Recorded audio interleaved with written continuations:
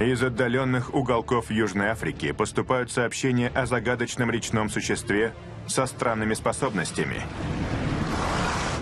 Что они говорят? У нее были красные глаза. Такого я еще не слышал.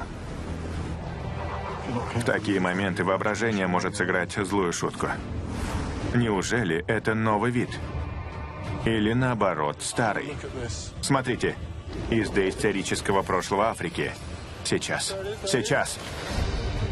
Я Джереми Уэйт, рыболов и искатель приключений.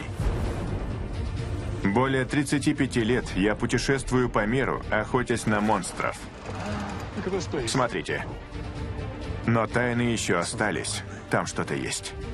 Я отправляюсь в неизвестность, чтобы раскрыть... Да. Тайны, сокрытые в темных водах. Джереми Уэйт. Темные воды.